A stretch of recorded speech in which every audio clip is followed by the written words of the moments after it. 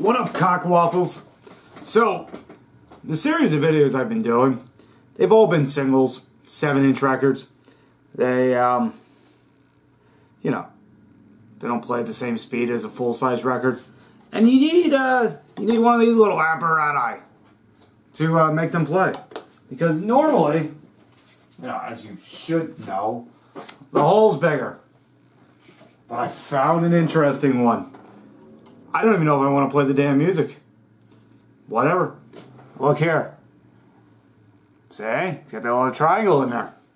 It says, push out for use on large spindle. Yeah, no. No, I will not be doing that. It almost looks like somebody tried and failed horribly. So I'm going to put this away. Because this is a this is a 7 inch I don't need it for. Which is awesome. So, oh, I should probably say what the record is. It's Billy May, Orchids in the Moonlight, and then Billy May, Fat Man Mambo. This will suck. This will suck asshole, I'm sure, but let's get it all.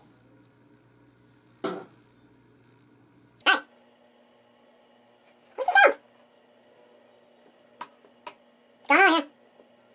Ah shit.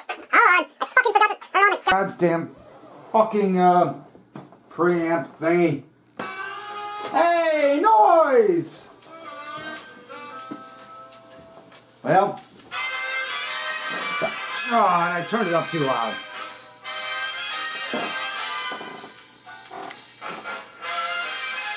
Great.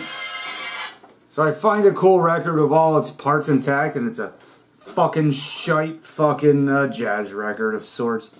Orchids in the Moonlight, you suck. Let's go to Fat Man Mambo. Whoa.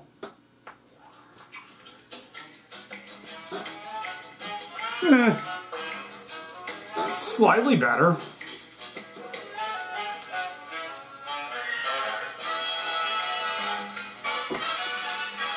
No, nah, I still can't get on board with it. No.